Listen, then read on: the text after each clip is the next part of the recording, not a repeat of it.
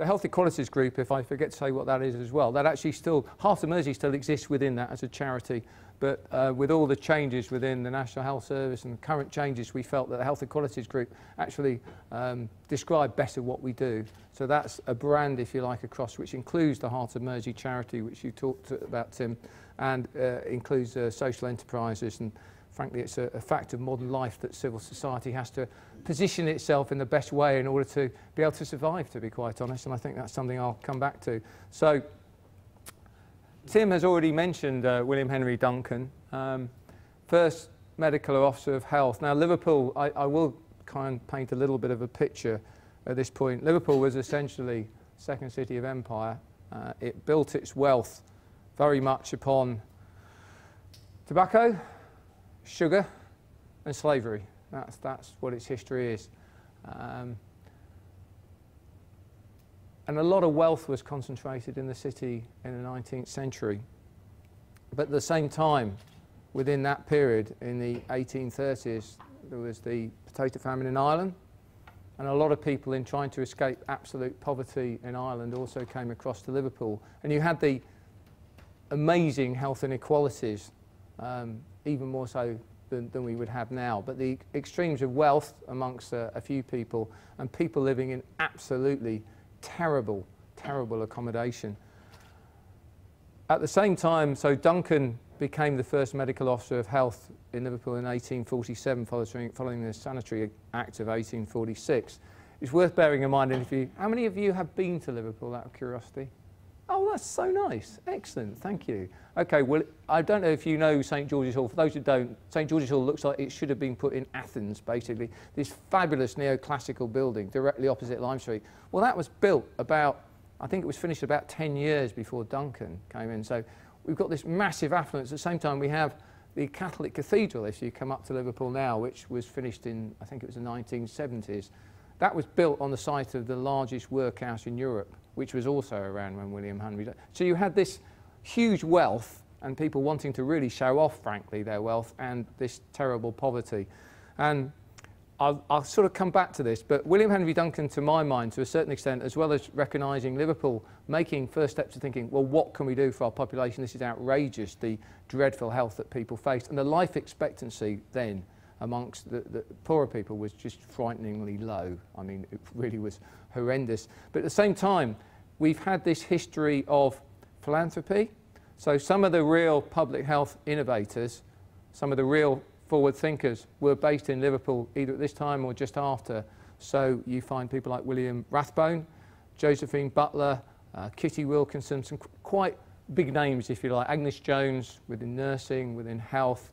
And I think it's worth bearing that in mind to where we are now to a certain extent. So there's, there's a history of philanthropy and some of the best known charities in the country originated in Liverpool. So Citizens Advice Bureau, first one in Liverpool, NSPCC in Liverpool. So there's that history as well. Uh, I think it was the first European school for the blind in Liverpool. All reflects that period. So I just wanted to paint that picture because I want to start from this, but I will almost come back to it at the end. I don't know when that's taken, but it's actually classic sort of cheeky urchin looking Liverpool, isn't it? And Tim did kindly mention Heart of Mersey. You're not going to be able to read this. Um, we kind of wanted to make a splash. So I was actually employed to set up Heart of Mersey as a population-based cardiovascular disease prevention program. That was long as well in 2003. Now you can't quite see this. Obviously, this is the liver bird. This is the what what that's the original Royal Hospital, which is being rebuilt at the moment. And um, we wanted to get attention, not particularly from the public. This was about trying to persuade people to give us money things haven't really changed, you know. So we needed to make impact. So this says smoke, eat crap, don't exercise, it's enough to give you a heart attack. Nothing's really changed, has it? That, that was in, when we had enough money to put billboards out, and that, that, was the, that was the appropriate language at the time. I think it's the appropriate language at the time now. So let's fast forward a little bit, and the next three or four slides I need to credit a colleague, David Taylor Robinson at the University of Liverpool, and the Due North report that came out, um, I think actually it was at the end of last year, I think. Um, you know this. You know there's, there's a health divide and life expectancy between the North and the South with the lowest number of years in the north. I mean, it's, it's a stereotype, but there's, there's an awful lot of truth in that. I think actually probably what's more important is um, the later years in life. And I sort of tell an anecdote quite frequently that I was doing some qualitative research with um, Everton season ticket holders actually in when I did my Masters in Public Health, which is not that long ago. Uh, uh, I thoroughly enjoyed doing it at University of Liverpool. And my, my, uh, my um, dissertation, which I finally got published, today, um, was looking at um, football fans and food, actually. It linked very closely with, with the work we were doing at the time about healthy stadia, but, and still do, in fact, about healthy stadia. The interesting thing for me is I was interviewing people or running focus groups, facilitating focus groups, should I say, of men my age. So I was doing this, I was in my 50s, predominantly white men from Liverpool, and their view towards life and their health was quite disturbing. They just assumed by the time you hit your mid-50s, you should have all sorts of problems in your life, that you'd be on all kinds of medication. They were less concerned about their health. They'd already thought they'd kind of blown it, but they were concerned about their grandchildren's health. And here's me listening to this thinking, well, I, I actually want to have a bit of quality in my life for another 20, 30 years. I cycle all the time. I can do that. What's, what's the problem here? So men are my own age, and I thought that, that that view is, is, is a real concern. So it's actually not so much always the life expectancy, which has gone up across everybody, it's the quality of your life in your later years. And I think that's a really important distinction, and we still very much suffer from that. And this is, a, this is our, our, not my, not my uh, diagram, I, uh, David Taylor Robinson did this, but you need to know your Merseyside to, to, do, to know it really well. But again, you can see the difference. You've, you've seen the London Tube map, I'm sure. This is, this is the, the Mersey Rail equivalent on the Northern Line as you go up on life expectancy. So you're starting off at, say, Bootle, which is at North Liverpool, it's actually within Sefton area, is, is at the lowest. And then you come up to leafy Southport, basically, to places like Ainsdale. And again, that really dramatic difference. And where do we start from? We talked about William Henry Duncan and proportion of children in, in poverty. Um, those are the figures from the government accessed 31st of March now. Tim might be able to define uh, what, what, what uh, determines uh, the definition of a child in poverty. I'm just using government figures. But again, this difference between northeast and the northwest at 22 and 20, I mean, that's, that's awful, isn't it? That's just frightening in 21st century. But the comparison there with the southeast and the southwest, again, is, is quite dramatic. So, I want to spend a bit of time talking about two particular initiatives. I know this is a Food Thinkers event, so I'm not going to spend all my time talking about tobacco, but it's, it's really, I think, relevant to discussion. And as we try and have an impact upon the food system in one form or another, for myself, who's worked in public health 30 years, I've spent my time working in tobacco control as much as I have around food. And I think the, compar the comparisons are very, very interesting, and it's questions you might want to think of at the end. But to, again, to paint a picture, um, back in 2003, Smoke Free Liverpool was established to, as it says here, to try and make Liverpool a smoke-free city. Now, in 2008, we were rather proud. We were a European capital of culture. Uh, and we recognised that, that that presented an awful lot of problems. Uh, a lot of problems, uh, a lot of wonderful opportunities, possibly one or two problems as well. Actually, I have to say that as you lived in Liverpool in 2008, how wonderful it was. So, hey, there's no negativity on that. It was absolutely fabulous. Um, but yes, we wanted to see what would be the opportunities for health. Now, for those of you that don't know tobacco control as well, and I know there's probably some people here who may not be from the UK as well, I mean, our smoke-free policy now in this country is some of the best in the world, without any question. Back in 2003, of course, we didn't have smoke-free legislation. And the health inequalities that I've talked about before are very, very stark when you, when you look at smoking. I haven't put slides in on this, but even in the city now, you will find areas with 25, 30, 35% of people smoke, even with smoke-free legislation in place. And that again has an incredibly disproportionate effect because the people who smoke most are the people on the lowest incomes and the least, least um, successful education background. I don't think I put that very well, but you, you, you know what I mean. Um, so again, in terms of if you're addressing health inequalities, it's something that's very important. So in Liverpool, we wanted legislation nationally, and we felt that, are we going to get it? Um, I'm trying desperately to think about my politics and the governments at the time and where we were. And I'm, I've suddenly gone into, I can't remember who was, who was in power in 2003. It was the Tories, wasn't it? Shaking his head. Was it Labour? Isn't that terrible? Yes, of course it was. And I know because I get to a slide in a minute about that. The whole point, actually, and quite an important point about the way that we take, took this forward, it is relevant to the discussion, by the way, because as you talk about philosophy towards how much the state has a role to play, then you do have a discussion in terms of the politics of, of the government in power at the time. But actually, what was very important, what was very relevant to this actually in Liverpool, then we had a Liberal Democrat um, uh, uh, council. Um, and it was incredibly important that the work we did actually was across political boundaries. It had to be like that. If you side in one or the other, you're, you're not going to get anywhere if you're talking about local issues and local politics. It has to be political party free, in my view, and that's something that you might want to come back to as well. But rather than wait for national policy, which is what we all wanted, what we actually did in Liverpool, and I say we, uh, I don't think I've got a slide in talking about all the different partnerships, but you're talking about a number of organisations working together from the public sector and the third sector, and I think that partnership is absolutely key as well. Predominantly public and uh, public sector and third sector though. We collectively, with the leadership of Director of Public Health very much at the time, who of course then was in, was in the health service, pursued a local act of parliament to make all enclosed workplaces smoke free. That cost quite a lot of money to take the legal advice to actually do that. And it's something, again, we, want to, we might want to come back to later when we're talking about food, because how much power does local government actually have to, to make those kind of changes?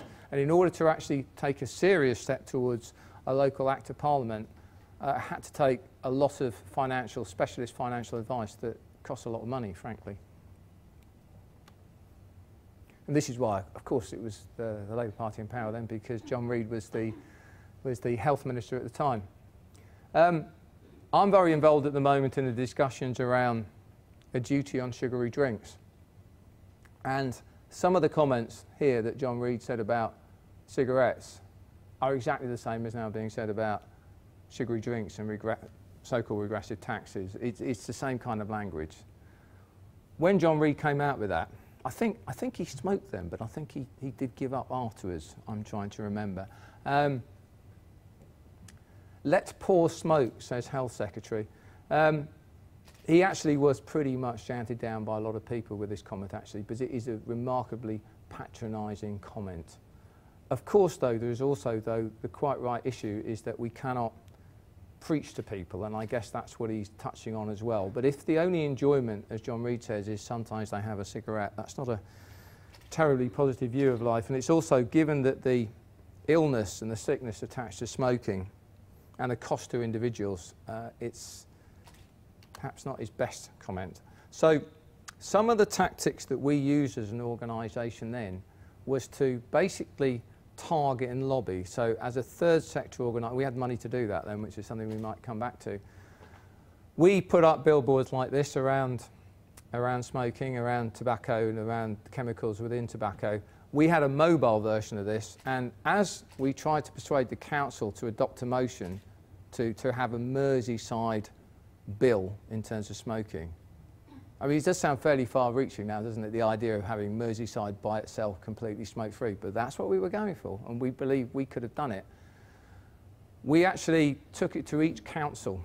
So in fact, our role as Heart of Mersey was more or less smoke-free Liverpool had got Liverpool sorted out. We needed to look at all the other areas of Merseyside. So we have Sefton Council, we have Wirral Council, we have Knowsley Council, we have Halton Council. Basically, we put this billboard on a, on a, um, on a mobile uh, a mobile vehicle and parked it outside council meetings so that councillors could see it as it went in.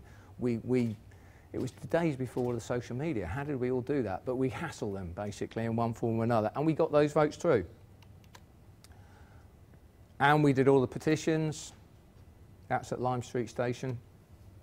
And of course, you know, I'm not in any way trying to claim that us in Liverpool brought through, did everything to bring in the smoke-free legislation that was passed in 2006 and enacted in 2007. That's, a, that's an advert by the British Heart Foundation. Again, another part of uh, civil society, another part of the third sector. But we played our part. And I think as we come, as I work my way through the different slides, the point I think I always want to make is that sometimes when we're trying to get change in policy, we look to government, we pressure our MPs, we try and make that case, as Action on Sugar has done today, as Tim mentioned about the, the reception there in Parliament. Our role as a civil society organisation based in Liverpool and across the Northwest is to make the case that unless those changes happen, the population of our health in our local communities will get worse. At the same time, we have to get the buy-in from our local communities so we can articulate those views. And that, to me, is absolutely key. And really, that's when I start talking about food. So the end result of all this, here we are. Neither of these MPs are, are there anymore, actually, but uh, Stephen Hesford, who was then Wirral West, um, here he is outside Wirral Town Hall, supporting the Merseyside private bill in November 2005. And here we are just um, three months later, Shaun Woodward, St Helens North MP, receives a Valentine's Day card. The vote, actually, it was a free vote. It's, it's, it's interesting to remember. A, it was a free vote, uh, whether there should be smoke-free legislation. And it was passed on Valentine's Day 2006, which is extremely easy to remember. So, so I wanted to set that because I wanted to say we feel that we, we're very proud of what we did in Liverpool and the Northwest, the role that we played as an area, trying to articulate those views. And one final thing before I start to talk about um, comparing now with food, is that when we all started saying, okay, we need this legislation in, in we, we need to have a bill in Liverpool. They're not going to do it nationally, let's do it locally. We're, we're not going to wait. You know, we've had enough, we need to do things. In exactly the same way as William Henry Duncan in 1847 said things need to happen we said, you know, we're not going to wait. We're pretty feisty. I'm, you can tell from the action I'm not from Liverpool, but I can certainly represent the feistiness of the population. And what people said to us was, you'll never get people in Liverpool supporting smoke-free legislation. And people now say, you won't get people in support of a sugar tax, or you won't get people in... The change and the speed was absolutely phenomenal. I think speed of change in thinking now is much, much faster because of the media and the way social media works. Much, much faster. But we got that change, and now there's absolutely, it was respected overnight we got that legislation. And, you know, you really, even now, I mean, you just don't get people flouting it, do you? It, it was incredibly successful. So, let's move on to what we're doing around food.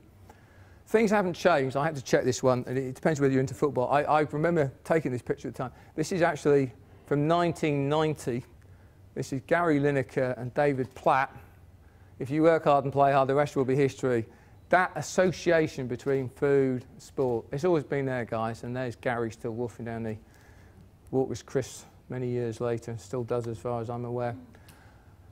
And of course, we have another agenda. We have an agenda around food poverty, and that can be seen as a public health emergency. I think in the city of Liverpool now, I'm going to say this and probably going to regret the numbers. I, I can't quite remember whether we have five or seven food banks, but it's, it's, it's, it's a huge issue. But as we saw with the Health Select Committee that reported on, I'm losing track of the days of the week, Monday, they used this slide, I think, in their report, as did Public Health England. The link between obesity and deprivation is extremely obvious. Um, as it goes up, the reception year on the, the, the, the darker range here and the lighter range is year six. So uh, this is the 10 to 11 year olds and look at this and this is the least deprived and this is the most deprived and you can see that gradient. It's becoming much more obvious. So let me tell you about the work that we're doing as Food Active. Very importantly and extremely unusually, we're jointly commissioned by the Director of Public Health in the Northwest um, I say that there are actually 24 local authorities in the Northwest and 17 commissioners. That in itself is a sign of the times, but frankly, I'm incredibly proud that 17 of us, 17 directors of public health actually commission us. That is incredibly hard to achieve, that collaborative. And, that, and I'm, I'm basically saying, well done, directors of public health. Back in 2012, when the government came out with a report on uh, obesity, a call to action, it was rather felt it was exactly the opposite by the Directors of Public Health, that it, that it was far too vague and it needed some concrete action. And in the same way, over a period, they tried to address tobacco collectively. They felt we needed to address food in a collective way. So Food Active was launched in November 2013 to tackle increasing levels of obesity. It's about population level interventions. It's about policy change. And those were the three things they call for. One of the things I think that is quite interesting, and I talk a little bit more about what local authorities can do, which is really interesting for me in terms of policy, in terms of addressing healthy weight, is whether you focus totally on sugar or whether you focus across healthy weight as a whole. So you'll see the third call that. All these things essentially are, are things we could do at local level as well as national level. The third one particularly obviously it says national regulatory controls. You can control a certain amount of marketing at local level as well. But the, the last one is something within the power of local uh, travel systems. Um, because I put this up and people say, what's 20 miles an hour got to do with healthy weight? Of course, um, hope you all know that if people actually did drive a little bit slower, it's safer to walk, cycle and play. So it's a really important thing as far as I'm concerned. So back in 2014, the Northwest Directors of Public Health put out their Public Health Manifesto, obviously prior to the election in May of this year. And within that, all those issues there relate in one way or another to healthy weights. They call for a sugar, sugar sweetened beverage duty. They call for a ban on the marketing of foods high in fat and salt and sugar. And they wanted to introduce policies to encourage active travel. Now, our response to that as Food Active, and I should have said Food Active is really the brand that we use, the identity used, we use to, to describe all the policies that are delivered by uh, my organisation, the Health Equalities Group, on behalf of the Director of Public Health. But in effect, we thought, well, what's one of the mechanisms that's worked in terms of tobacco control?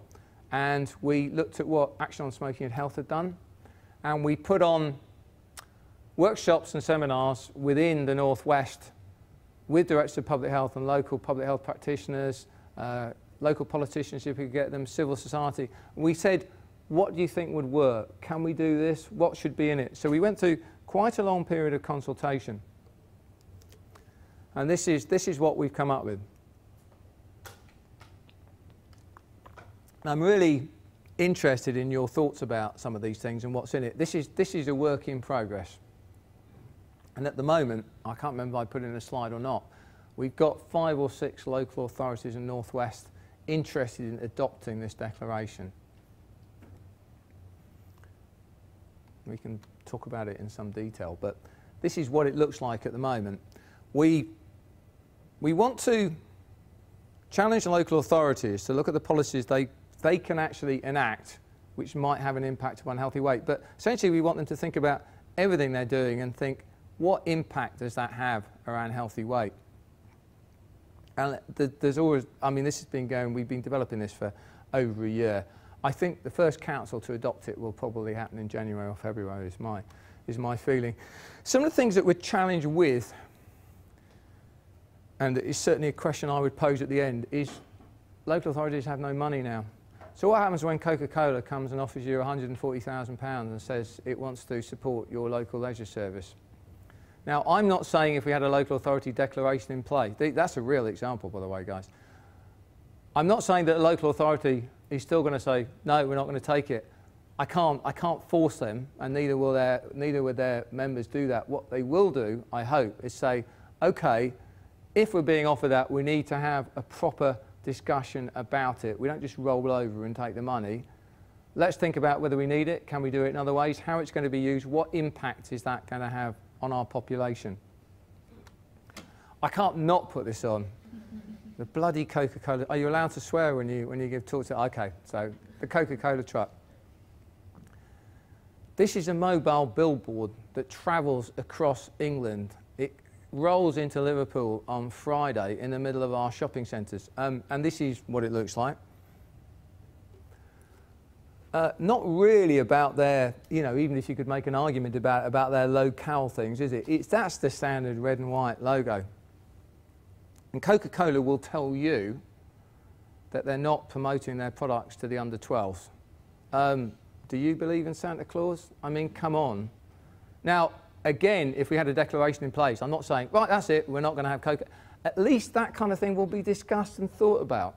I, you know, I don't know how well this is going to go, but I'm aware that I work in an area of huge disadvantage where economic regeneration is absolutely key. So we're having proper grown-up discussions. So I've sat down in Blackpool Council, one of the most disadvantaged places you're going to find in the country, and I've sat down with their officers and we talked, including people from economic regeneration. And if you think about, it, if you've been to Blackpool, it's kind of partly fueled on sugar in the same way as Liverpool's history is about sugar. It's challenging for them, but they want to think about it. They want to consider it. They want to see if they could perhaps, one of the things they're considering is perhaps ethical policies in terms of funding they take. It's, it's, it, they're complicated discussions. They're not easy.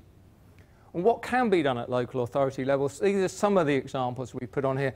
Actually, I'm very relieved that the two reports have come out recently. The Public Health England report on sugar reduction which actually didn't say anything about local authorities in at all, uh, which was one of my criticisms of it. I had lots of good stuff in. I, you know, I'm delighted it came out when it came out after all the battles to get it out. But um, the Health Select Committee, which gave its report on Monday, if anybody's interested enough to look that up, that actually does have a section around local authorities, probably partly because they took evidence from the Association of Directors of Public Health. I think if you're really going to look for change nationally, you have to get that buy-in locally. So this is our as I've been talking about tobacco fields. So this is our attempt to try and do that. And there are things that can be done. There are things that can be done. Um, despite the lack of money within local authorities, they still have a number of controls. As I actually said in Public Health England uh, report, actually, that we should have government buying standards in terms of nutrition, what's actually provided. Um, really, we need to sort out the town planning aspect, and that did come in in Health Select Committee, and I've already made the point about funding rather a lot. And there are lots of things happening at local level. And the partnerships that we try and forge have to take in the question I got asked before, um, before we actually set up today in terms of what I saw needs to happen. I see sometimes so much that, that divorce between what's happening on the ground and what actually appears on our plate. So if you're going to have this local authority declaration, basically what we've looked at is some generic headlines, some of those about sponsorship, some of them about planning, but then there'll be a local element to it. It's not quite the same as a local authority declaration on tobacco control. So if we went ahead in Liverpool, I'd want to, I'd want to mention work done by Liverpool food people, for instance. So let's move on to just specifically talk about sugar, some of which I've already covered. Um, I'm sure you know all that, and it was good to hear today Alison Tedstone saying, I think, I'm not sure if I'm going to quote her totally accurately, but I think she said, Tim, you'll probably know whether this is right or not, that we were the first country to recommend uh, no more than 5% of our energy from sugar. So that, that was quite good to hear her say that. And that's, that's a very important point that we're working towards now. There are more that can come in here, but these are some of the things. The government will be publishing its childhood obesity strategy in early 2016. So in the same way, and I suppose remember where we were with tobacco, there was like almost a silver bullet of smoke-free legislation. I mean, now obviously we've got plain packaging, there are other things, but that smoke-free legislation in, in, in enclosed places was absolutely critical. There isn't quite the same bullet is there with food? And that's something again you might want to explore. But I'm also very interested in what can be done locally. I haven't put a slide in with it um, but with our local authority declaration we are focusing on the kind of policies that might um, might work around healthy weight there are some areas now that are just looking at policies which might affect sugar specifically. So Jamie Oliver's initiative is obviously relevant to that and people might have heard of sugar smart cities in, in Brighton. I haven't put a slide in about, but it's, if you want to ask me about that, please do. It's, it's essentially trying to challenge businesses to put um, a levy, if you like, or their own local duty, whatever the wording would be, on sugary drinks, and then the money to go to the Children's Health Fund and to be used for good causes, if you like. So it is, it is soda politics. And there are, I think, a lot of comparisons and I'm going to finish off, because I suspect I might be getting somewhere towards half hour. Tim looks very relaxed. I'll just talk a little bit about Give Up Loving Pop. I mean, I have learned a lot about uh, from this, and it's been a lot of fun. I can't remember if I put the slides in, but again, if you're looking at sugar, so we've been tasked by the Director of Public Health both to look at healthy weight, but particularly to focus on sugar. And as we've been developing that campaign, the evidence has been growing about sugar. The PHE report, in terms of the evidence base, is actually very good. And we know that the biggest impact in terms, so, so young people between the ages of 11 and 18 are, are basically having about three times the levels of sugar they should be having. And the biggest impact, the, the biggest player in all that is sugary drinks. And in fact, in terms of the sugar that we consume across all ages, apart from the very old, sugary drinks are the biggest component. To me, it's low-hanging fruit. So I'm not in any way suggesting that if we got everybody suddenly to stop sugary, drinking sugary drinks, uh, it would solve everything in one go. Of course it wouldn't. Life's much more complicated than that. On the other hand, it's actually quite a good target to actually focus on. So we have designed a campaign in the Northwest called Give Up Loving Pop or Gulp. And it, it, it's worked really well, actually. Um, it's a really small budget. Quite happy to talk about the budget. It's, it's really very low. It's trying to cr be creative. And I think that's what the third sector does for what it's worth. I, I really do. I don't have to go to, I don't have to go to um, a chief executive or a council or take it through all their comms teams or, you know, if we think it works and we've tested it out with a few people, we go with it. Uh, it's very much about strong visual images, and we develop materials now that, that can be used in different places. Um, in fact, I, if I'd had time, I'd have put another couple of slides in here. But so we we rode we run three road shows earlier this year, and I'm going to show you some images in a moment. And when we developed these images, I had the Food and Drink Federation ringing me up the day before, threatening to take me, threatening to report us to the Advertising Standards Authority. I love it. Bless them. And all the rubbish they put out sometimes. So, I, I mean, I actually had half an hour with, with dietitians telling me, you can't be saying this. You can judge yourself on some of the images we have. Um, I don't think I'm going to say what some of the other problems we have. The other one I will say, however, is one of the, one of the big shopping centres in Northwest refused to take our display because they have a commercial arrangement with Coca-Cola and I couldn't even go to the press on that. I probably could have had the front page of the bloody Daily Mail on that, but I couldn't because it was it affected other relationships. But that's the reality of it, and that's the reality that we work in. So we went out, we took these, uh, we took conversations with the public. I'll show you some pictures at the moment. Since then, um, this concept has gone. People have used it in in our area, Blackpool, Burnley, Oldham. We've had schools taking it, using the name, but also it's gone a little bit international, which I'm rather pleased about. So, you know, I kind of like it that in the Northwest we're still feisty enough that people look at what we're doing. Um, and, and Guernsey to a whole, whole range of places. This is what our road shows look like. And these, I'm just going to show you two of the images. Um, I would recommend, if you want to follow up some of the stuff, particularly about Give Up Loving Pop, have a look at the website. Um, it's got all the images on and they're free to use it wasn't a lot of money. We, we spent a lot of time trying to get this right. When we started, that looked slightly more like another product, and we thought we might get a cease and desist order, uh, which is basically how it works. So you might see a resemblance to a product, but I probably deny that it was quite like that. But you can see what we're trying to do. We're trying to use the same approach that sugary drinks companies use on probably about a, a millionth of the budget or something. I actually think within food, and particularly around sugary drinks, we sometimes miss the dental their dental issues. Um, and I actually think they can be quite powerful. When you find one in four or five-year-olds experience toothache, fillings and tooth loss, that's really quite upsetting. And the principal reason for that is around sugar and sugary drinks. And I was, I can't remember, I've had a rather extreme week this week. I know, I was doing a piece on um, Granada reports in the Northwest on ITV talking about sugary drinks on Monday with young people at a local school. And a young man there said to me, um, his auntie, I think, was feeding a baby through a bottle with a sugary drink in it. And you're thinking, oh my God. And that still happens. That still happens. So the tooth issue is not to be underestimated. So we did get a lot of media coverage which is incredibly important to what we're trying to do. So remember, I started off talking about tobacco and how we try and did things. It's, it's a similar approach as far as I'm concerned, the sort of methods we're using.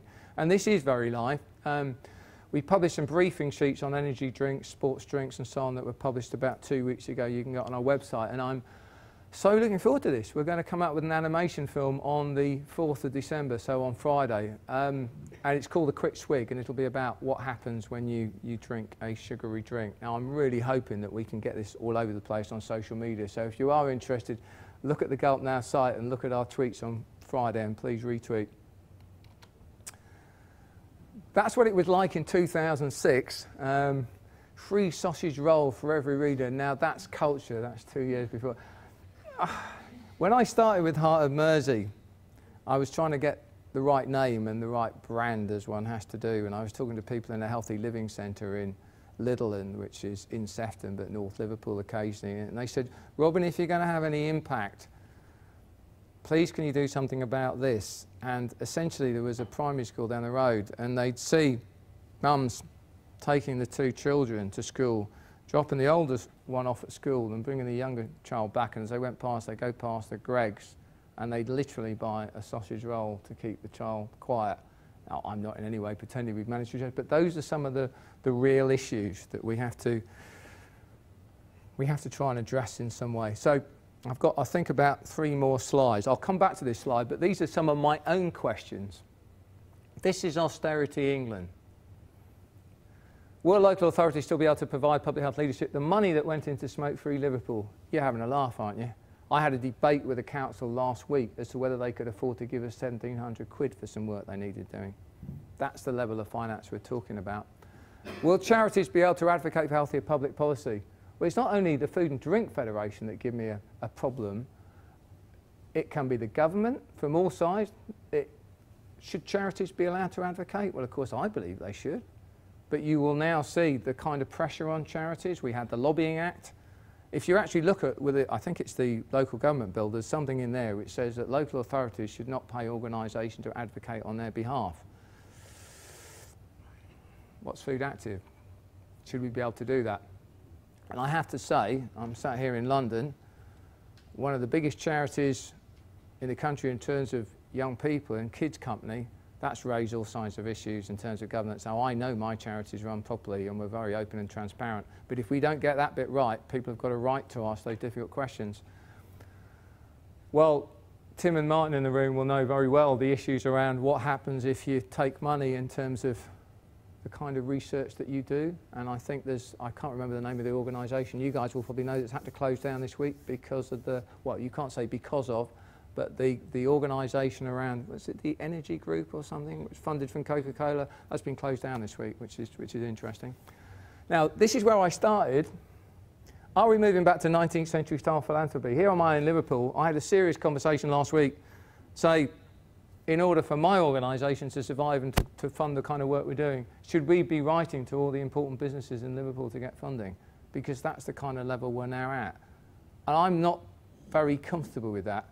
I'm not very comfortable with it all kinds of reasons. I'm not very comfortable with the concept that this kind of, I'm sorry for the words, but I can't find another way of doing it, this kind of do-gooder thing of frankly people on higher income thinking, let's do something for this deserving poor. And how do they define that? But we're starting to get that kind of mentality back. So back in the 19th century, we had Lord Leverhulme. Is Jamie the new, the new version of this? I've no idea. But again, Jamie's role, I think, is Sorry, that said sugar rush. It seems to have warped somewhere there. Um, and again, that's what Jamie says. And in fact, the debate we're having now, you know, you've got to give the guy credit. He's, he's, he's played a very important role, a very genuine role in it. So, thank you. I've gone over half an hour, but I started to uh, enjoy myself and relax more as we went through. So, my apologies for being a bit over the time. Um, that's my contact details, and I know this presentation will be shared. If you want to ask me anything outside of this, please do. That's my Twitter ID, and do watch out for what we're doing later on in the week. And those are the questions I put for myself. You don't have to use them, but they were of interest to me as well. So thank you for the opportunity again, Tim. Thank you. I mean, let me, let me get the ball rolling. I mean, at one level, you could say you give a very, very pessimistic, depressing account okay, and yet he's clearly a rather cheerful chap. He doesn't look suicide merchant. Uh, actually, what you were giving was a very positive vision, which is, it was in your sub-talk uh, that you said Merseyside as feisty, cheekiness, experimentation, light touch, feistiness. You were talking about that all the way through. My question to you is, do you think that's what it's come to? That it's a question of good people uh, being sort of Davids to Goliath. Is that what you think the situation really is? Is it that bad? I am really concerned about local authority funding. So where I live in the city, the city of Liverpool is, uh, I think after Hackney, supposedly, uh, figures I've seen, sort of the, the second worst hit, as it were. And if we have to get our funding for our work through council tax, well, that isn't going to be very good because we have some of the poorest quality housing in terms of value or lowest value in, in terms of the country, in terms of the, the money that we get from it. Similarly, if you're going to look at business rates, that's not going to us too far either. So there is serious concern about funding. I, I when I'm going to, I'm answering this tangentially, enough. I don't properly answer it, come back to me, Tim, because I'm, I, I, I quite agree. It, it's actually really hard not to be a bit depressed at the moment, but I do also want to be positive because there are some brilliant things do happening, and we are, we collectively as a public health community, becoming so creative because we absolutely have to be to, to make things happen. But that funding is, is, is a real bother. One thing that I've had this conversation with two or three people recently is that you start to see innovation from all kinds of different places. And when I was young, a long time ago, if you had a social conscience, you kind of either found yourself into the public sector or academia, I suppose. I mean, all, all charities for that matter, you'd find yourself in one of those places. What I'm finding in a city like Liverpool is some of the creativity that used to go into those areas is sometimes in very small private enterprises being set up where people can't find the work they want to do to carry out some of the ideas that they want to do within the public sector, or for that matter, the academic or civil society, and they're actually forming their own companies. And you find some real interesting, innovative work. I've worked with some fascinating companies. So those ideas are still there, and people will find ways to fund them. I think my concern with local authorities is that. And that, of course, is what government wants. Uh, well, you're right, actually. Yes, of course you are. Yeah, yeah. You could be depressed about that as well. Local authorities to go. It wants people to go and set up small start-up companies, paying themselves next to nothing, but getting off the welfare bill. That's a horrible. You're absolutely right. You're absolutely right on that. Of course, it is. It is succeeding. I know. Well, I think there is a role for all of us to defend the role of the state, which I think we are not, perhaps not very effectively doing that, because you're quite right when you talked about development in those areas. But I do think that there are things that can be done, whatever income you've got, and that local government has to set a good example. I mean, whether you're talking about vending machines, whether you're talking about the sort of catering that it does, whether it's sort of the sort of events they have, the sort of money that they take from different people, those are all things they have control over as do local hospitals in terms of, all right, and I've worked around uh, catering contracts in, in hospitals, and yes, it can take about 20 years for things to turn around. But there are things that can be done, even on no money, and I think it's just, yeah, and you're quite right, that's probably government agenda as well, that we all do things on no money. But it's absolutely outrageous that you go into hospitals and you find commercial outlets with junk food at the front of their, their aisles. It's outrageous that you have, if you work in a hospital, you try and, you know, all the disputes around junior hospital doctors at the moment, you're working around the clock. What happens at two o'clock in the morning when you want something to eat? The only thing you've got available is a vending machine full of junk. That's outrageous. So there are things that can be done. And one of the things I was asked in the sort of soundbite thing before we started, Tim, is, is you know, what, what's, what's the big issue? For me, sometimes it's simply taking food more seriously, and it doesn't happen enough. So, okay, local authorities are being beaten up, but there are things that can be done, and I so think it's important to make those is your analysis, and this is, goes wider, all of us, is it that the, the, if you like, the, the public health battle that ostensibly is about health, ostensibly is about class inequalities, mm.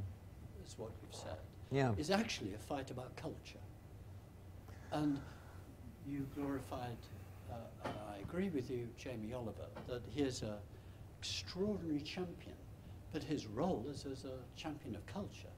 He's not a public health man at all. No, not at all. He's not a local authority man. He's not a state man. He runs an incredibly successful, I know him. He's a very successful businessman, uh, but he's a champion. But he's a cultural champion. So is public health, this is my other question to you, is public health actually now a culture fight?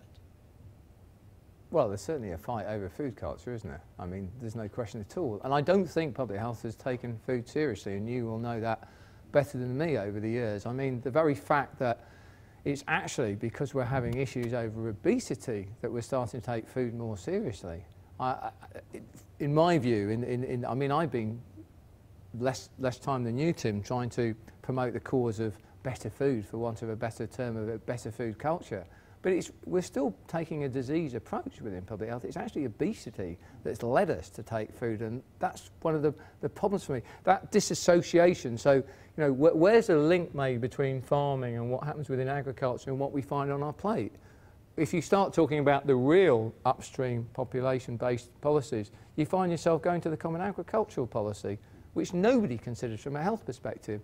So yeah, we are. We're talking about actually huge issues. But for me, I don't think public health has really properly addressed food. So perhaps that's why people like Jamie. But I, I did want to make the point that to me, Jamie Oliver is almost the equivalent to some of those greats back in the 19th century. That's how they're manifesting now. Um, I'm Martin Caraher from the Centre for Food Policy. Uh, Robin, thanks. Sobering, but I think real. I mean, this is, we're seeing this with food projects all over the country. Funding's been withdrawn. You know, projects are in danger. But I want to go back to the bigger issue. I, I was interested in the smoking thing because I think the smoking thing in Liverpool did shift the UK along with what was happening actually in Ireland at the time because they would have had a split yeah. issue with Northern Ireland as well. But using that local legislation, I can't remember what you called it, where you took. There was, there was a smoke-free Merseyside bill. Bill. Yeah. I mean, why haven't we got one of those for London for food? Why haven't we got one for Mersey? I mean, the future may lie in cities. I mean, city yeah. states and city governance. Sorry. It's because I could, Martin, you'll have to shout at me. That's why I'm walking towards you, but That's I okay. can't hear you very well. City states and city governance may be the way forward in the absence of national government. You know, do you think there's potential for that bill again to be introduced for food so we control local advertising so shops can't have you know, advertisements on the front for sugary drinks, just like we've done with tobacco, but at a local level. I mean, is it is pub should public health, you know, to be critical? All the work you do, which you know, I'm a huge supporter of the gulp stuff you do. I think is amazing, but it's program based. You know, it's pilots, it's programs. Let's go back to legislation. Let's go back yeah, to yeah. changing the environment. So, if do you think the possibility exists for that legislation to be introduced city by city? I think it's a very interesting idea, and I think we need to be doing more work around it. I mean, I was disappointed, as I say, that it didn't come out in the PHE sugar reduction report. There are different programs happening at this time. I, I think including our local authority declaration, that, that needs to go through a council legal department to see what can and can't be done. I mean, the, the advertising space that, I mean, if you think about it, the commercial sector has more or less taken over so much outdoor space in terms of advertising. Now, some of that can be controlled. So if you go back to my billboard back in 2003, I worked with an advertising company. I knew where all their billboards were and I cited things appropriately. that supposes, therefore, you should be able to control that. So there are certain things that I imagine you can do but I, I, I, honestly can't answer that question properly because well, I, Martin's I'm supposed. Question, let me push you. Martin's question was uh, laws. Should you be going for laws, starting in the city basis, pushing it? Uh, and secondly, picking up the advertising, I think you were getting at, Martin, was well, actually the Public Health England report makes it very clear. There's about three quarters of a billion pounds a year yeah, spent yeah. on advertising in Britain. Two, yeah. Wasn't it 256 million, something like that? About a third of that they thought was uh, targeted at, uh, uh, was it children or on, on sort of low The report in Scotland the same, yeah, finding. Uh, you know, this is a big, talk about low-hanging mm. fruit for public health. Martin's point is, isn't it time to think bigger? Well, you know, playing around with small projects ain't enough anymore. Well, that was one of the asks we put in, and that was one of the things that Public Health England have absolutely said in terms of advertising. It was very interesting. I'm not probably answering your question. I'm agreeing with you on that. I don't know how much can be done at the city level. I, I genuinely don't. I think it has to be explored. Where Mars, I mean, how long did it take with, with, with tobacco? And uh, certainly it's not the same. Years. Yeah, exactly. So uh, it's not going to take, it's not the same. I know that. But I think some of that level of expertise we're still needing to learn from, to be quite honest. It was very interesting for me. I mentioned earlier about I mean, this, this is anecdotal, and I'm talking to four young people in a school in South Liverpool. But when I was talking to them about sugary drinks, it was fascinating to hear one of them say she felt manipulated by the food companies. Mm. Now, really, that's, and of course they are. And that's exactly the way tobacco companies worked. And it's the same argument whether you're talking about package, packaging, that the main part of the advertising around food is again aimed at young people and again trying to get those preferences. And actually of course you know developing those sugar tastes very young. That that's the market. So the biggest argument I think that we have in civil society to government is we have to address the health of our children. And you can get a buy-in on that. And that that's a kind of almost a a good public health approach, isn't it? Uh, because people will say, well, adults have got the choice. Of course they have the choice. I mean, we will remain having the choice. You can still go and buy a packet of cigarettes if you want to. But with young people, we, we are in a position where we can, we should be having much more controls. I mean, it's, it's ridiculous that um, academies don't have to have food standards as, as, as schools within local authority control. And that there is a very strong agenda, isn't there, of reducing what the state can and can't do. And to a certain extent, we have to have that argument.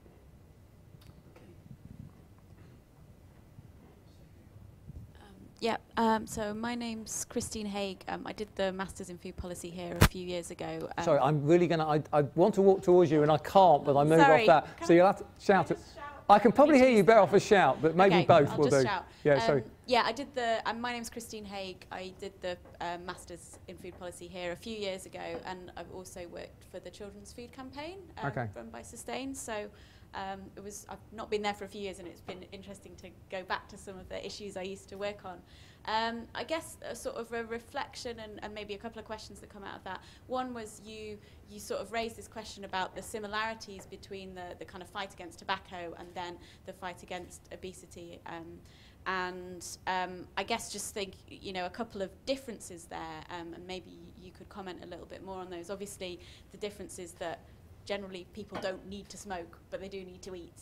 Um, so it's that makes it a little bit more more complicated. Um, and also the kind of the as, as Tim was saying, this is about culture. You know, food has you know so many um, you know cultural aspects to it as well as um, you know being basic nutrition and everything else. So I guess I'd be interested in your reflections on um, you know what challenges that poses that maybe you didn't have to deal with so much in the smoke-free campaigns. Um, and then my second question was just around thinking about um, that's um, whether there might be impact, sort of unintended impacts of the, the sort of policies you're looking at um, as, um, as part of the, the, the food work. Um, so, for example, in terms of perhaps um, restrictions on, on food out or particular types of food outlets, is there a danger, for example, that you, um, you impact on um, you know, SMEs, particularly from ethnic minority backgrounds, and other ways to, to kind of mitigate against some unintended consequences from those. And I mean, just as I was leaving the Children's Food Campaign to, to go on to another policy there um, around the sugary drinks tax, there was a, a deliberate um, decision when some of the research at the Children's Food Campaign and at Sustain was starting to be done was that, you know, people need to eat, but they don't need to drink sugary drinks. You can always drink water, at least in theory. So focusing on taxing sugary drinks is a good place to start because it would be a less regressive tax.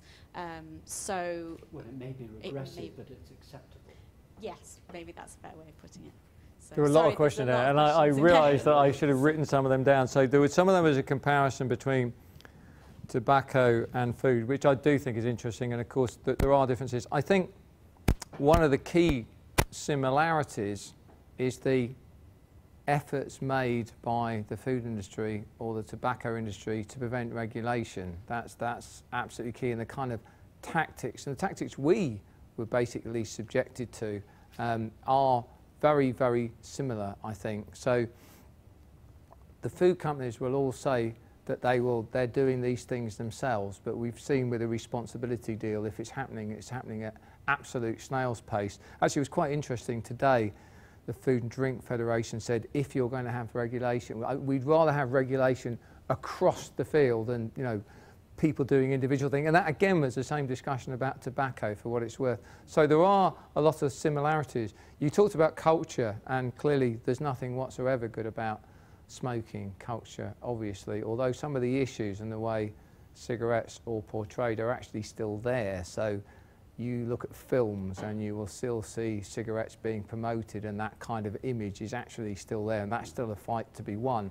So there is something about regaining our food culture because it seems to have been, I don't know, it seems to have been expropriated for better way of putting it, that somehow it's like How did Coca-Cola take over Christmas? Where did that come from? You know, it's, it's ridiculous, isn't it? But that's what they've effectively managed to do. And food companies, all the kind of advertising around it is, is around culture, it's around families, and somehow we have to win that back. I don't have any answers to that, but somehow we have to, we have to try and win that back again, because it is about food. Food is core to our being, and we should be celebrating and enjoying it. And somehow we've been, the only way we seem to be able to do is if we can go and buy these different products, or that's how it's presented to us. I think you had a third part, and I can't remember what it was. Oh, you talked about sustain, didn't you, and the children's food campaign and sugary drinks I as guess low-hanging thinking fruit? about unintended Oh, unintended consequences. Oh, uh, policies. uh, BME communities and so on. Yeah, Um, an example. I think I, I, I don't want to make too neat a comparison here, but there was the argument given by the tobacco industry if you stop, um, if you, uh, whether it's plain packaging or whatever, you know, you're going to put newsagents out of business. I didn't notice that happening. I think what actually happens is whatever kind of industry are, you adapt. I mean, I, I went to a food catering event the other day. I'd been asked to speak and take part in a debate, and I sort of went into a room with all these companies that, that basically make products aimed at the school food market. And it was quite disturbing, but particularly in the drink section where the drinks aren't, we, we, we haven't obviously, we've only just had the second recommendation, so you can still get drinks that have more sugar than I would like to see. But what the companies there were saying to me was that, that what's the word they used? They're, they're, they're school food compliant. Oh my God, what a horrible term. So they're trying to pump their stuff at us. It's school food compliant, it meets the rules. But it also showed me that what they'd done is essentially they'd reformulated in a very fast time to meet the current standards, and they'll be able to do it again. Now, I don't want to be too dismissive. The other point I would make So about. what's the point? This is an important one. Forgive me interrupting. yeah, no, go on. I'll, I'll probably Standards answer the question. Standards work. Standards Standards work. Yeah, yeah. Is your point? Bu- Business will adapt to the standards. But we also need to look to support. So I was aware, and it's been a long fight, and I think things are slightly better. But I talked about Liverpool capital culture back in 2008. Now, when you started to go to, and we, we had big events, we still do.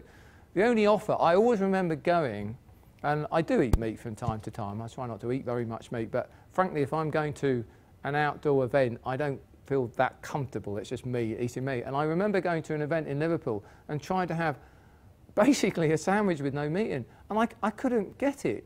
And, and I just thought this is absurd. It's, it's, you know, it's not just about health, it's about diversity, it's about... But I also started to have those discussions about the kind of organisations that were able to bring in enough money to do the development to actually produce better food. And it's starting to happen. And some of that is about, are we looking at how we're supporting businesses to start off? Are we helping them? Are we giving them the training? Are we giving them the advice? That's something that can be done both from the academic sector in terms of catering, can also be done in local authorities. Are we, help, are we making it easier? So I think there are other ways of addressing what you're talking about. But um, I think industry adapts, as, as Tim said, with standards and so on as well. Well, we're, we're having this meeting at the time of the Paris climate change talks. Exactly the same argument is going on there about how could business survive if it becomes low carbon. Well, the answer is it does, and it will. Uh, of course, says someone. Absolutely. Uh, this is, goes back to your 19th century analogy. and I think it's, you're, personally, I think you're absolutely right. Uh, we need to think more fundamentally uh, and be less sort of tiny in our thinking. We can think bigger, actually, about our thinking and say, we want business to be operating in a different way. Did you want to come in? Hi, I'm Mary Atkinson from Food Research Collaboration. You mentioned about the lack of money from local authorities. I just wondered how you envisaged the future for, for your organisation in that respect. And you also mentioned, you know, one of your questions is, will you be taking money from, um, from private sources? Um, so I just wondered what your thoughts were on, on the future and public. That's such Private. a personal political question, isn't it, Mary?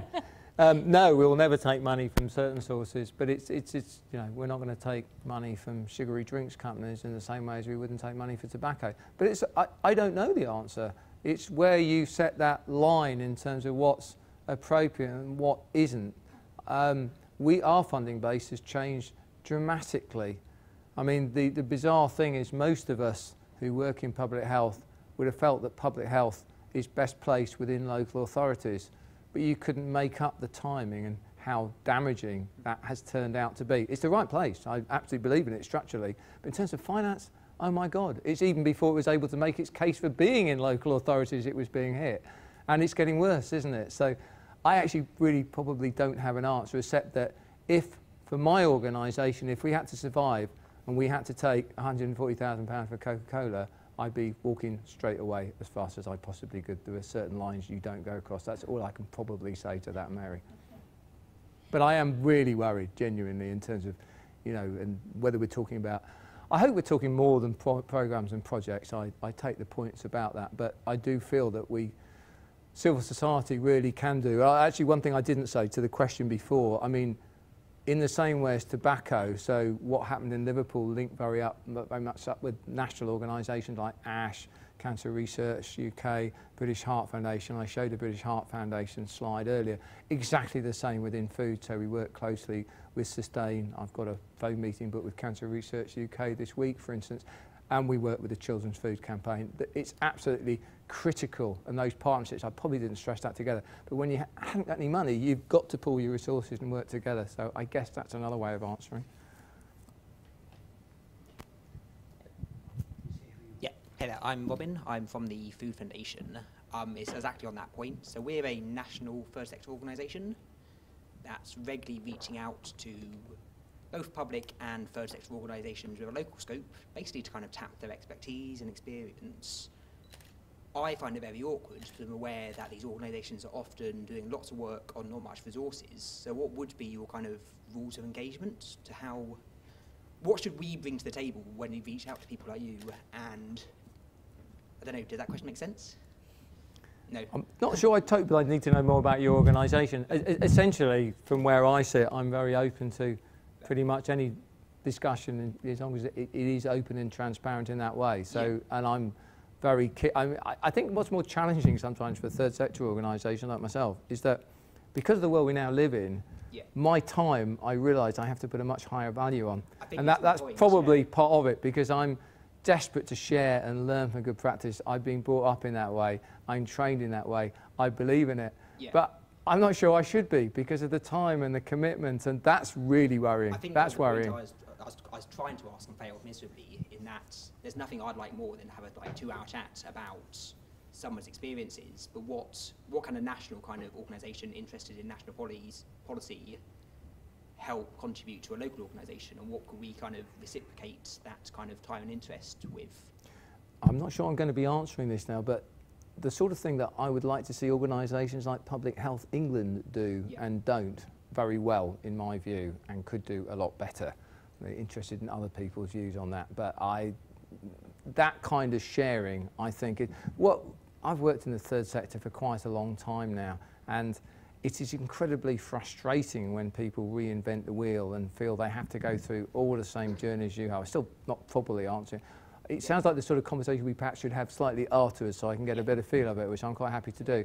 But I'm certainly, I think it's so important. I mean, that's what public health is about, I think. And that's what's scary, the world we now live in, because we constantly have to think, blimey, can we afford to share that? Yeah.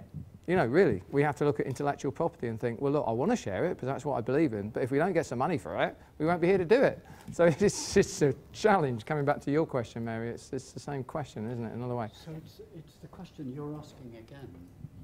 You're asking again the question of what can an organisation like this do?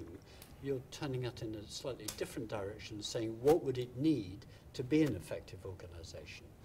I don't know if you've had a chance to see it. We had one food thinker ago or two, I can't remember, Hannah Brinsden, yeah, talking Hannah. about um, what makes for effective public health advocacy. And it was, uh, you know, actually the issue of funding wasn't in that uh, because it's talking about the sort of the methods and the process of getting change what you've done in your talk, and this has been a big theme, by the way, of the food research collaboration, mm. what does civil society need mm. to be more effective? Is it more evidence coming from academics? You've said yes, it does need that. Uh, but you've also raised a much bigger question, which is the context, which mm. one doesn't have control over. Mm. But secondly, you've raised the issue of funding. You have some control over that, not a lot, but some. And thirdly, it makes a lot of difference what you're trying to do. Are you trying to get small change in one primary school in Sefton, or are you trying to get Sefton to be a role model for a, a parliamentary shift for the whole of Britain? That's, they're not antithetical, they're different options. And that takes you back to Duncan. It does. I- Duncan was yeah. thinking very big, but it's hard for people to recognise. Liverpool was this hugely important world trading city. And it was daring to think, actually, it's unacceptable to have this health inequalities. And the argument then, and I think you were sort of saying it now, but I want to check whether I got you right. Are we in such a dire state of health inequalities that we need to be thinking those big radical thoughts about what would change the circumstances? It's Martin's question. Can local areas be champions of what should be a much bigger structural shift? As I understood it, that's what he was asking. Yeah. I'm going to. Do you want me to Yeah, I comment? want you to answer. Um, well, for a start, in terms of what we're trying to do, we are still trying to operate at that city, local authority level and the changes that can be done. Now, some of that could be your individual schools within that, and they're all part of the same thing. Well, look But- what Jamie Oliver did with Well, one ex- school e- in e- e- exactly. You can have quite a big impact. And I have to say that if you're promoting what you're doing to local authority officers, sometimes those uh, members, I should say, rather than officers, those local stories are actually part of the, Yeah, the narrative. the language, the narrative you need to use to make that change. Um, and I guess it, exactly the same way, and why I keep coming back to it, I still feel that a city like Liverpool, with the health inequalities we have, and the argument that we can make, can still have that part to play at national level. So, yes, even in these times of cuts, even where we are now, yes, we can, and I think that's important. Martin's point was Liverpool as a role model.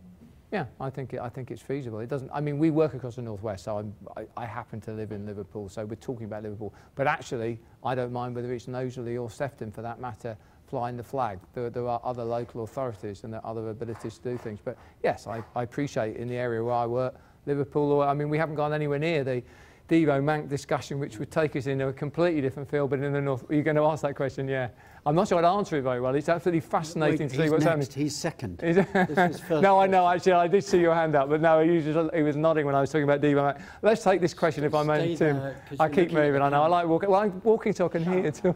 yeah, shout at me. So. Hi, I'm Marion Con. I'm doing the MSc in food policy. Okay. Um, I am saddened in that everything I read and hear in the last couple of years, everyone's been saying education doesn't work. Education, education doesn't work. doesn't work. Yeah, yeah. I hear it from the, from the academics. I hear it from Public Health England. You know, everybody's saying that's not the way to go. We've done it. We've done it badly. Um, I think that's why it hasn't worked. It's been done very badly. Um, that's what I, th- I believe. Um, what is interesting is I'm, I'm here today because I saw a tweet which took me to Gulp, and I had to come and hear you speak. Excellent. Yes. Well, how good is so that? Well, if you welcome. haven't looked at the Gulp website, it is fantastic. All right, good. Thank you. Um, what I'd like to know is you're, you're working with kids in schools, you're, you know, you're having, doing focus, group, focus groups and so on. Can you see the potential for the kids to say, we want this to change? Yeah, I know I genuinely can. Actually, I can. I, you know what? I can be much more optimistic when you're asking me about that. I'm, I'm actually a school governor and I have been for about nine years. I'm a parent governor, so I done my best to influence for that way. But yes, and I mean, I think I don't think anybody says that education doesn't have a part to play. The problem that we have sometimes in some of the arguments is you'll hear the industry particularly saying that well, people just need to be more aware. They'll make the changes for themselves. Which No, Marion's point was, I'm going to shout at your microphone. Marion's point was most of the education that doesn't work in the name of health education Yeah. is bad education. Well, yes, I, I, I, but She's what, nodding, what, what, what, what I'm noticing within schools and with young people is they are, not, not all of them, of course, I don't want to generalise too much, but you, you can have some pretty, I mean, I, I, it was very anecdotal, and it was literally sitting chatting with the four young people who did the, the TV interview the other day.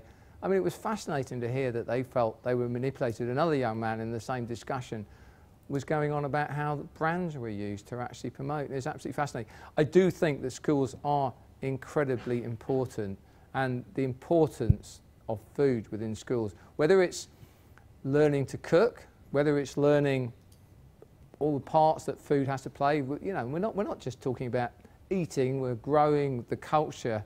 Um, it has to be taken much more seriously. And we don't, it's right across the board. There is still so much that can be done. So we have our lunch hours cut and children don't, and if actually all the children wanted to eat school dinners, generally they, they actually couldn't do it. There isn't enough capacity. So there is an awful lot of interventions and there's a slide that I haven't put up, but I've only just got it, but we all know this where, well, in fact, no, I did show it, but I was talking about inequalities. But that gradient from when they come in at reception to when they leave at year six is, is just appalling.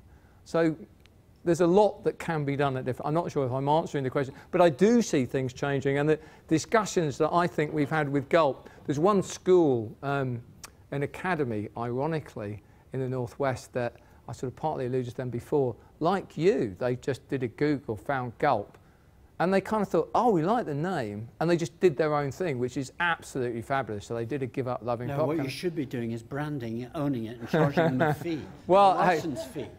If I could find a way of doing that, um, but anyway, they went. They, to Jamie. yes, I should. Do. I guess the, the other thing I'd say is, if, Yeah. is there a way that you, and then I'll hand the mic over, is there any way that you could just get more head teachers to show a film like that sugar film, which That's the sort of thing we are certainly trying to do. Well, the, the academy that I talked about, the other thing that was, was really interesting to me. That's that- what killed the, the, the slavery trade, was people doing the equivalent of that, actually. Slavery trade didn't stop because people said, oh, a rational choice. No, no, no, Let's know get that. rid Yeah, of yeah, yeah, yeah. slaves. Yeah, It was campaigning by people like Yeah, you, yeah, yeah, yeah, yeah. By, that actually took it wider. And that's what Marion is calling. Yeah. Actually, Marion is giving an incredibly radical view for a deeply respectable citizen. Ex, ex, I, I just feel her I just feel it's about telling the children. Correct. Yeah, yeah. I think that she's 'cause they saying get it. something really yeah, yeah. important. All right. Are you dealing? Are you addressing taking children as the change agent? Well, that's, I think, in Liverpool, actually, coming back to the tobacco example, there's been a lot of work with young people to support young people acting as advocates. I think there's an awful lot we could do because actually the narrative around some of the sugary drinks companies and how they manipulate, whether it's the Coca-Cola Christmas truck or the use of cartoon figures, is really disturbing and it's not properly told. So yeah, I do agree. We actually managed to get some funding, funny enough, from Lottery to develop a PHSE resource, and part of that is um, personal health and social. Someone, somebody will know. I can never get the word right. What's that? There you go. Just say it for the camera. Well, I couldn't hear, so Martin, shout, and then I. Yes, my brain's gone. Personal, Personal- social, and health education. So that, that, that's, that's teaching that happens within schools. There are classes within that. So we are developing resources around sugary drinks for that, which we'll be piloting in Liverpool. Compulsory, I think, in primary, but not compulsory in secondary. Yes. PHSE. Repeat Yeah. that. It's compulsory in primary, but not in secondary. But I do think those are exactly, and again, talking to young people earlier this week, again, talking about food, and that's provided within schools, the needs to be engaged with the consumers, obviously, and that often isn't. It's, a, it's such an obvious thing to do, but it often doesn't happen. And That's, that's, really what important. the food industry does so brilliantly. Yeah, of it course. thinks the consumer first. We think public health, and then, oh, what about the consumer? Flip it. Uh, Paul Blakely from the School Food Plan. So picking up on that point, and you may have already guessed, but essentially, do you think that the local authorities will take advantage of the government's devolution agenda? And does that present them with opportunity? Is there the will to do work with those additional powers as well as the, I appreciate there are resource issues, but if the resources and the funds are there, will that opportunity be taken up? And Uh, what do you see that looking like? So will they tackle retailers, at national retailers at a local level? Will there be health incorporated as a more important component of planning applications so you can reduce fast food outlet density around schools and areas of low socio- socioeconomic status? How will it pan out essentially? Now we're getting to the heart of it.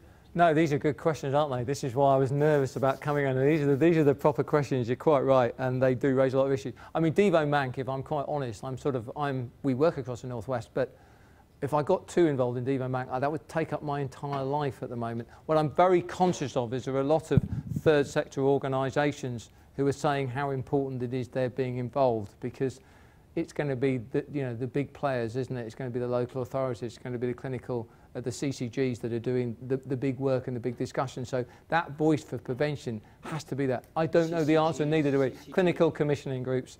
So they're the ones with the budget at the moment, but they're, they're, they're run by doctors, they're, they're medical models. So I don't know yet, but it's a fight we really have to have. And that point you made, I mean, an anecdote in, in my area in Liverpool, um, I wanted to object to a, uh, a, a new off license opening and I went through all the formal procedures I could do to, to, to object. I actually got, fun, I got rung by the solicitors on behalf of the company on a blooming Saturday to say, well, you can't do this. You can't. I mean, you know, that's the kind of, this is ridiculous, the society we live in sometimes. And they said, you can't object on health grounds. And I, I knew I couldn't actually, so I'm trying to find every which way, but you're quite right. Why can't we object on health grounds? So I do think that's really important. Some of these devolution discussions are, and I suppose it's coming back to Martin's question, isn't it, is, is, is what cities can do. So Merseyside is getting closer to that situation that um, Greater Manchester is in. But it, this, this, is, this is a battle that's happening at the moment, but it's absolutely critical that we have those kind of discussions. You, you're nodding. Come back. We'll give you the last word. no, I agree thoroughly. I don't, cannot understand why those principles, so health, for example, is not given a higher priority in things like local. They are being discussed. I don't want to say Yeah. they're not. It, it's, it's going to be a battle though. Pass it back to Martin. We need to wrap they up. can be, but you've got to do it area by area. And what we're doing is we're reinventing the wheel. I mean, it seems to me, I've, I've got 10 no-fry zones contacting me at the moment about how to put in objections. In the absence of national legislation, yeah. everybody's re and you should build your own wheel. You know what works in Walthamstow won't work in Sefton, won't work in, in West London. But, but I mean, London is a disaster. We, I've got 20 local authorities wanting to do slightly different things. National legislation for London, at least, would solve that. I think the mayor could do it Yeah. with a local government act. I actually think the potential exists. But I wanted to come back to another point, and this sort of, I mean, myself and Robin talk a lot. So this is, I, I think that there's no overall structure for all this activity at a local level. Yeah. You know, if you think about what you're doing, what other people are doing across the country, none of the public health bodies, I think, are offering a mm. structure for that advocacy work to happen in a structured way. I know the faculty are doing, you know, talking out a lot, but Public Health in England can't seen, can't be seen to be political at the moment. So they can't offer No, you a appreciate that. house, they can't offer you a structure like the old Health Education Council used to do, but was disbanded because it, it done exactly that. It was seen as political. Does anyone have a structure that's parallel? The Nordics? Well, the Nordic, the, the, food, the Nordic Food Policy Councils, that's country by country. You know more about that than I do. But, you know, there are models about, there's no, I mean, there's a lot of activity going on, not a lot of sharing of that activity across point, the country. uh, I think it's a great point. Uh, I mean, this is, we're trying to wrap it up.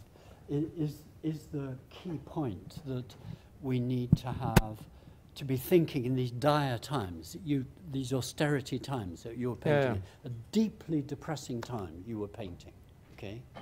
It's not the best of times, up. Tim. It's not the best of times. It can get a lot worse, Yes, sir. Robin. Half past seven, It can yeah. get a lot worse yeah. and it's probably likely to. Uh, in these times, I hear from Martin, we should be thinking big thoughts. What would we really need if we really wanted to tackle children being manipulated by soft drink companies? A sugar tax is one. You said it's a way in, it's an entry, Yeah, yeah. but it needs to be more than that. What is what's the big picture? And we can't answer that now, but it is. I agree. I think I- it's a great thought to end with. Can, can Uh, I just make one comment? you It comes can. back to Devo You- Manc thing, you're the actually. last word. Well, well, no, but I'm not answering the question. I, I, we do need to. We do need. We, we, we need. We do need to think bigger. But I, I think the devolution debate is a, is an incredibly important debate. But I just throw back almost to a certain extent, and coming back to the Greater Manchester issue. So we're trying to see whether this declaration would work and whether we can tie in policies where we can get local authorities to start to look at what they're doing. So I've already had sort of some preliminary discussion. Should there be a Greater Manchester one? Are we working in a different area? The problem is that, and this does come back to Duncan, the problem to a certain extent with local authorities is they have their local pride. They want to be seen to doing it. And I don't know whether that's going to work the same way. So that could be an issue with Greater Manchester. And it, it's been an issue in Merseyside already in terms of, okay, are we all doing things for Liverpool or is this a collective? So there are difficulties within that, but overall, from my view, sitting where I do in Liverpool, I get enormously frustrated. There's a lot I feel we can't do or the voice that we can have because those discussions are happening in London or they're happening in Parliament. So the more that we can, and I suppose that is where I started, if I'm all the way through, Duncan making his noise in 1847 or us making our noise now. We want to be heard. Don't just forget us because we're 200 miles north. And, you know, that, that, that to me, it's fascinating, isn't it, at the moment, what's happening in Scotland and Wales and what we can do in England, where, where they obviously have got devolved powers. And Northern Ireland. Um, And Northern Ireland, sorry, Martin, correct.